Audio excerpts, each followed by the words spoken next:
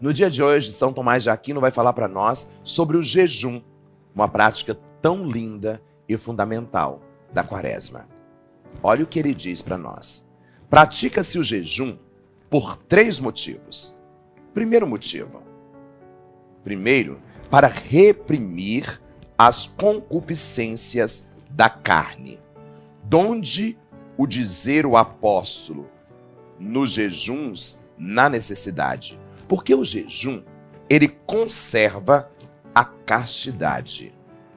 Pois como diz São Jerônimo, é pela abstinência da comida e da bebida a luxúria se amortece. Segundo ponto, pelo qual nós praticamos o jejum.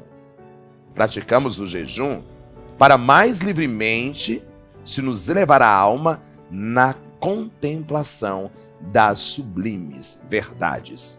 Por isso, refere-se à Escritura que Daniel, depois de ter jejuado três semanas, recebeu de Deus a revelação. Terceiro motivo pelo qual nós jejuamos. O terceiro, para satisfazer pelos nossos pecados. Por isso, diz a Escritura: Convertei-vos a mim de todo o vosso coração, em jejum, em lágrimas e em gemidos. E é o que ensina Agostinho num sermão. O jejum purifica a alma, eleva os sentidos, sujeita a carne ao espírito, faz-nos contrito e humilhado coração, dissipa o nevoeiro da concupiscência, extingue os odores da sensualidade, acende a verdadeira luz da castidade. O jejum, ele é objeto de preceito pois o jejum ele é útil, criatura santa, para delir e coibir as nossas culpas e elevar-nos a mente para as coisas espirituais. Por onde o jejum, em geral, constitui um preceito da lei natural.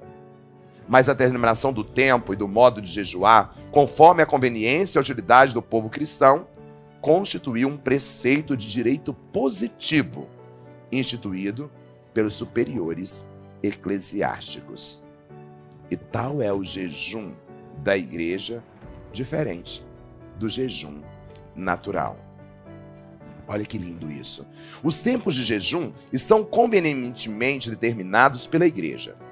O jejum é ordenado por dois motivos: para delir a culpa e para nos elevar a mente às coisas espirituais. Por isso, jejuns, eles foram ordenados, especialmente naqueles tempos em que, sobretudo, devemos nós, os fiéis, nos purificar dos pecados e elevar a mente a Deus pela devoção.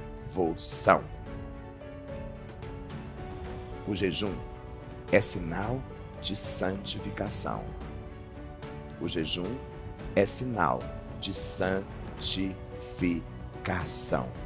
Por isso, no tempo da quaresma, o jejum ele purifica. O jejum ele nos leva a essa experiência de abandono em Deus. O jejum ele nos leva a perceber que nós temos o poder sobre aquilo que quer nos dominar. E é pelo jejum que nós alcançamos graças insondáveis, como nos apresenta hoje nessa reflexão quaresmal de São Tomás de Aquino.